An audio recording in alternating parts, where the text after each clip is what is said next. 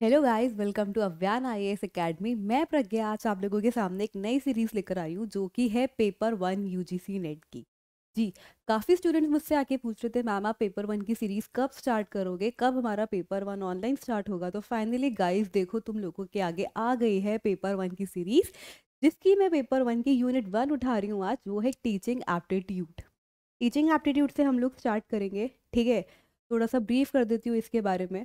Teaching aptitude में से ना आपके सेवन टू एट क्वेश्चन आते हैं। पहले तो मैं पेपर वन के बारे में थोड़ा सा ब्रीफ कर देती हूँ कि पेपर वन क्या है, ठीक है? पेपर वन यूजीसी नेट का आपका पेपर टू चाहे कुछ भी हो, चाहे आपका कॉमर्स हो मैनेजमेंट हो इकोनॉमिक्स हो पॉलिटिकल साइंस हो no matter what your paper two is paper one आपका आता ही आता है and it is a compulsory paper ठीक है? अब बात करते हैं कितने क्वेश्चन आते हैं। पचास क्वेश्चन आते हैं, ठीक है? पेपर वन फिफ्टी क्वेश्चन का होता है। हर क्वेश्चन दो नंबर का होता है। इसका मतलब आपका जो पेपर वन होता है, वो होता है हंड्रेड मार्क्स का। ठीक है? पेपर वन आपका हंड्रेड मार्क्स का होता है, जिसमें नेगेटिव मार्किंग नहीं होती। Paper one comprises of fifty question okay जिसके अंदर नेगेटिव मार्किंग नहीं होती। इसका मतलब आपको फिफ्टी के फिफ्टी क्वेश्चन अटेम्प्ट करने हैं। गॉट इट ठीक है? अब हम बात कर लेते हैं स्पेसिफिकली टीचिंग एप्टीट्यूड की कि टीचिंग एप्टीट्यूड में से कितने क्वेश्चन आते हैं? टीचिंग एप्टीट्यूड में से सात से आठ क्वेश्चन आते हैं। सेवन टू एट क्वेश्चन आते हैं आपके टीचिंग एप्टीट्यूड में से। ठीक है? ऐसा क्यों? कि भाई हर यूनिट में से जब पाँच पाँच क्वेश्चन आने चाहिए, क्योंकि टेन यूनिट्स हैं अपनी तो टीचिंग एप्टीट्यूड में से सेवन टू एट क्वेश्चन क्यों आते हैं? इसका रीज़न ये है गाइस क्योंकि टीचिंग एप्टीट्यूड इस एग्ज़ाम के बाद ना, आप लोग या तो पीएचडी में जाएँगे, है ना? Either you will enrol in PhD या फिर आप जाएँगे एज अ असिस्टेंट प्रोफेसर कहीं, ठीक है? या तो आप आगे पढ़ाने ही जाएँगे। इसलिए ये यूनिट ना काफ़ी इंपॉर्टेंट रोल प्ले करती है। तुम लोगों को अगर कट ऑफ़ वगैरह के बारे में जानना है ना, जैसे जेआरएफ क्या होता है नेट की कट ऑफ़ कितनी जाती है, और कितना परसेंट सक्सेस होता है, जो भी ऐसे तुम्हारे डाउट्स है उन पे ना मैं एक अलग से वीडियो बना दूँगी। तुम सबके डाउट्स इकट्ठे करके, ठीक है? तुम लोग मुझे कमेंट सेक्शन में बता देना। मैं इस पर एक अलग से वीडियो बना दूँगी। यहाँ पे हम ये इस बारे में डिस्कस नहीं करते कि ये क्या होता है, वो क्या होता है। हम सीधा टीचिंग एप्टीट्यूड की ही बात करते हैं गाइस ठीक है? तो सात से आठ क्वेश्चन आते हैं इंपॉर्टेंट यूनिट है। करते हैं आज की वीडियो स्टार्ट हम लोग। टीचिंग एप्टीट्यूड होता क्या है गाइस देखो, ये दो वर्ड से मिलके बना है टीचिंग और एप्टीट्यूड यानी टीचिंग प्लस एप्टीट्यूड ठीक है? टीचिंग क्या होता है basically teaching is sharing of knowledge and experience ठीक है?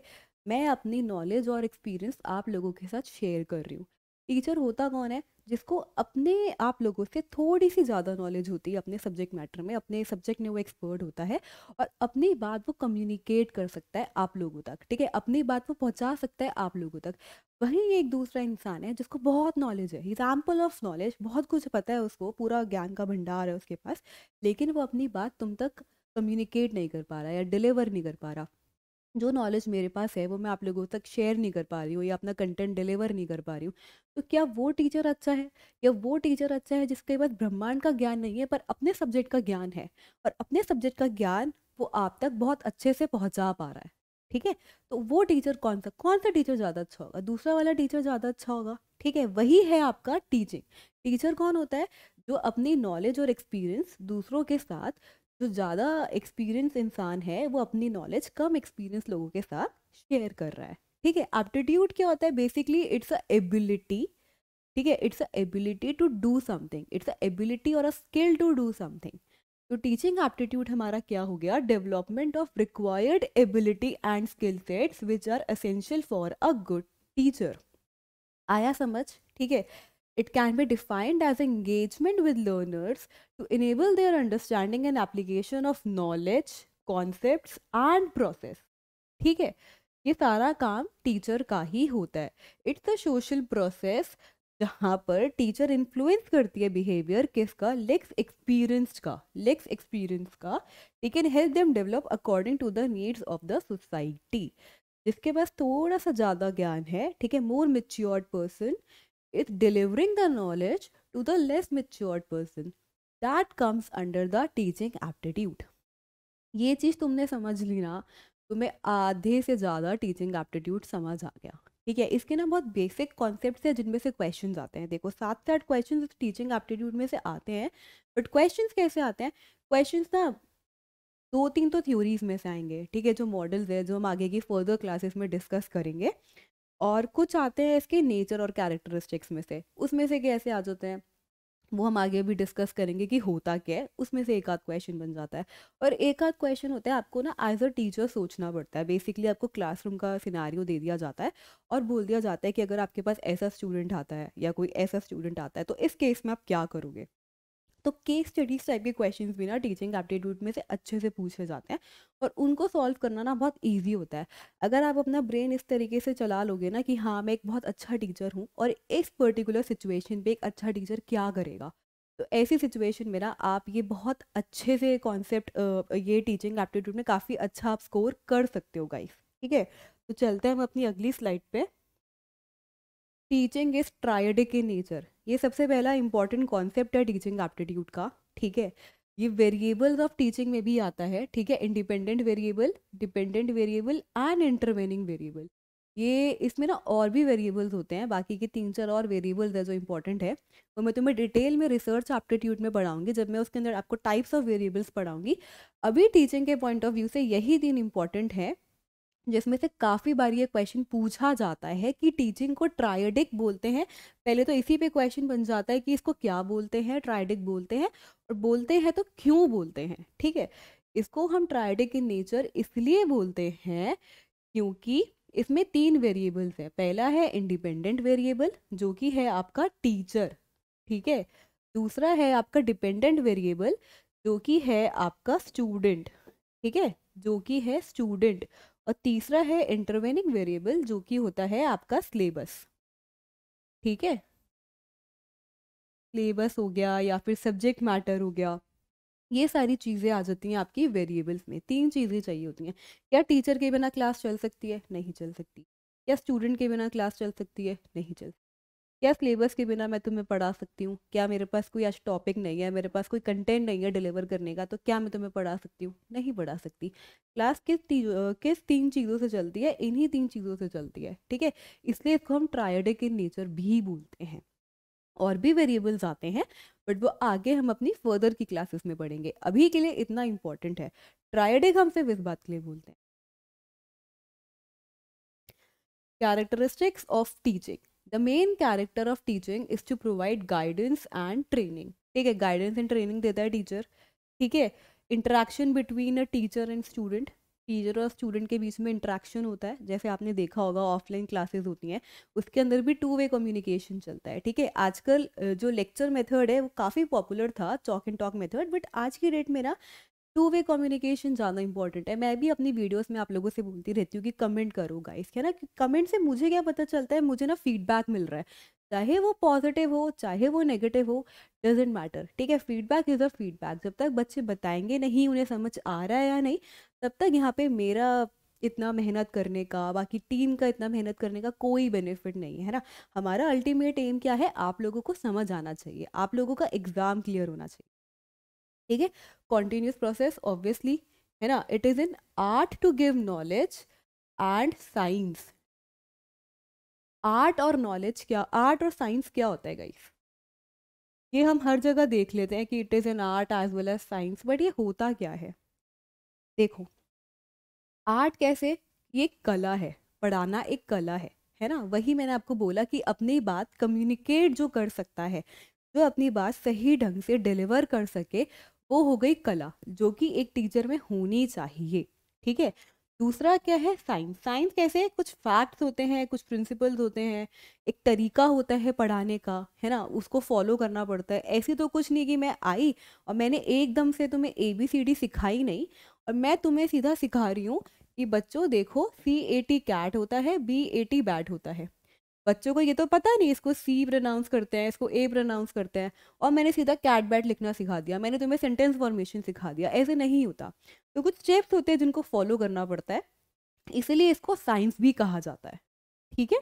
It encourages students to learn more and more है ना? Formal as well as informal teaching is a communication of information to students In teaching, teacher imparts information in an interesting way so that students can easily understand the information वही समझाने का तरीका, बताने का तरीका. Levels of teaching बहुत ही important concept है. बहुत बहुत इंपॉर्टेंट कॉन्सेप्ट है. ऑलमोस्ट हर बारी एग्ज़ाम में इसमें से क्वेश्चन आता है. ठीक है? मतलब हर दूसरे अटेम्प्ट में हर बच्चा बोलता है कि इसमें से क्वेश्चन आता है. इतना इंपॉर्टेंट है ये. इसको स्टार मार्क कर लेना और अपने साथ ना गाइस नोट्स बनाते रहना. ठीक है, ये प्रेजेंटेशन आप लोगों के लिए ही बनाई जाती हैं ताकि अब इनको पढ़ो और नोट्स बनाओ। सेल्फ सेल्फ नोट्स बहुत इंपॉर्टेंट है, सेल्फ नोट्स के बिना तुम एग्ज़ाम नहीं निकाल सकते। कोई भी बुक रेफ़र कर लो, कुछ भी कर लो, मैं यहाँ इस प्लेटफॉर्म पे खड़े होकर ये नहीं बोलूँगी कि चार अलग अलग जगह की बुक खरीद लो, नहीं। बेटर है रेफर सिलेबस, अपने नोट्स बनाओ और इसी तरीके से तुम्हारा एग्ज़ाम क्रैक हो सकता है। ठीक है? लेवल्स ऑफ़ टीचिंग क्या है ये? पहली लेवल जो है आपकी मेमोरी लेवल ठीक है? सबसे पहली लेवल होती है memory level then comes your understanding level and it last it comes your reflective level ठीक है? इसको एक एक करके हम डिस्कस करते हैं। होती क्या है? बट इसका सीक्वेंस याद कर लेना मेमोरी लेवल अंडरस्टैंडिंग लेवल और रिफ्लेक्टिव लेवल ठीक है?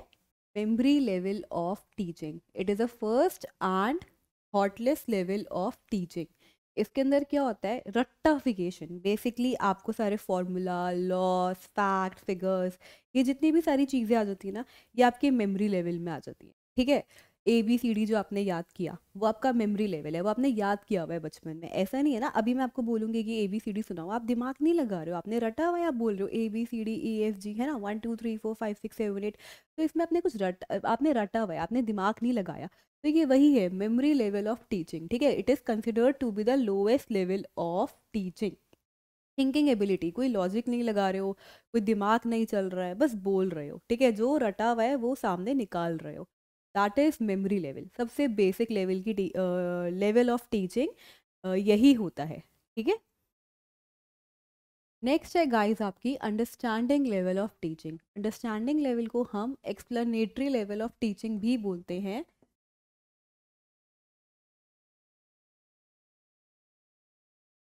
एक्सप्लेनेटरी लेवल ऑफ़ टीचिंग भी बोलते हैं। क्यों? क्योंकि इसके अंदर बच्चा चीज़ों को एक्सप्लेन करना सीख जाता है। जो मैंने याद किया, अभी तक मैं सिर्फ़ चीज़ों को रट रही थी कि हाँ ऐसा करने से ऐसे होता है। अभी तक मुझे कॉन्सेप्ट समझ नहीं आ रहे थे, ठीक है? अब एक्सप्लेनेटरी लेवल पे मैं पहुँच गई हूँ अंडरस्टैंडिंग लेवल पे मैं पहुँच गई हूँ तो अब मुझे चीज़ों को थोड़ा रिलेट करके समझ भी आ रही है। फॉर एग्ज़ाम्पल मैं बोलूँ कि मुझे कहीं आग लगी दिखाई दे रही है। सॉरी मुझे कहीं धुआँ दिख रहा है। ठीक है, मुझे कहीं धुआँ दिख रहा है, मैं समझ जाऊँगी कि कहीं आग लगी होगी। हम बोलते हैं ना, यार, वहाँ धुआँ निकल रहा है, शायद वहाँ बिल्डिंग के पीछे ना आग लगी होगी। हमें कैसे पता चल रहा है? क्योंकि हमने अपने घर में देखा है, जब भी हमारी मम्मियाँ या किचन में हम गैस ऑन करते हैं तो उसमें आग निकलती है और उसमें से धुआँ निकलता है है ना? या हम कैंडल जलाते हैं, उसमें से धुआँ निकलता है। वही चीज़ है, हमने अपने घर में एक छोटा सा एग्ज़ाम्पल देखा और उसको हमने बाहर रिलेट करा। कहीं बड़ी आग लगी और उससे हमने रिलेट करा, ठीक है? वही है आपकी अंडरस्टैंडिंग लेवल ठीक है? High quality of than one of the memory level memory level के बाद आती है सेकेंड नंबर पे आती है, ठीक है? और इसके अंदर ना चीज़ें बच्चा समझने लगता है, ठीक है? इसके बाद जो आती है, वो आती है आपकी reflective level of teaching reflective level of teaching ये थर्ड नंबर पे आती है हाईएस्ट लेवल ऑफ़ टीचिंग ठीक है? Involve the use of scientific methods to understand the problems इसमें बच्चा एनालाइज और इवेलुएट भी कर सकता है and can even create the new ideas यहाँ एक वर्ड लिखा है गाइस कॉग्नेटिव ये क्या होता है? कॉग्नेटिव क्या होता है? कॉग्नेटिव का मतलब क्या होता है? कॉग्निशन का मतलब होता है मेंटल प्रोसेसिंग ठीक है, जैसे मैं तुम्हें बोलूँ कि ए बी सी डी सुनाओ। तुम लोग ए बी सी डी सुना दो कि तुम्हारा कोई दिमाग नहीं लग रहा है, ठीक है? जहाँ मैं बोलूँगी सेंटेंस फॉर्म करके दिखाओ, या ये हिंदी में है, इसको इंग्लिश में कन्वर्ट करके दिखाओ, या कुछ भी ऐसा जहाँ तुम्हारा ब्रेन का यूज़ हो रहा हो, ठीक है? That is mental processing memory level पे कॉग्नेटिव फ़ील्ड थ्योरी नहीं होती कॉग्निशन काम नहीं करता बट वहीं मैं uh, इसकी अंडरस्टैंडिंग और रिफ्लेक्टिव की बात करूँ रिफ्लेक्टिव पे आपका कॉग्नेटिव होता है क्योंकि आपका ब्रेन एनालाइज इवेलुएट करता है नए आइडियाज़ क्रिएट करता है ठीक है? ये होता है आपका रिफ्लेक्टिव लेवल तो आज हम लोगों ने क्या पढ़ा बेसिकली गाइस आज हमने एक तो टीचिंग स्टार्ट करा ठीक है? थोड़ा सा बेसिक पढ़ा एग्ज़ाम में कितना आता है कितना इंपॉर्टेंट है वो सब पढ़ा। दूसरा हमने लेवल्स ऑफ़ टीचिंग पढ़ ली। नेचर पढ़ा, वो पढ़ लिया, वो इंपॉर्टेंट है। लेकिन ये जो है ना, ये एग्ज़ाम पॉइंट ऑफ़ व्यू से बहुत इंपॉर्टेंट टॉपिक है गाइस और हर साल पेपर आता है, ठीक है? Memory level understanding level reflective level आज की क्लास यहीं तक रखते हैं गाइस पहली क्लास थी, छोटा सा लेक्चर रखते हैं, ज़्यादा लंबा नहीं रखते, ठीक है? छोटे छोटे लेक्चर्स में मैं तुम्हारा सारा टीचिंग एप्टीट्यूड और पूरा पेपर वन ऐसे ही ख़त्म करा दूँगी, तुम्हें पता भी नहीं चलेगा, ठीक है? मिलते हैं हम अपनी अगली वीडियो में गाइस ये कैसी लगी आपको वीडियो और ऐसी कंप्लीट सीरीज़ आपको चाहिए तो मुझे ज़रूर बताना कमेंट सेक्शन में। मिलते हैं हम लोग अपनी अगली टेक केयर बाय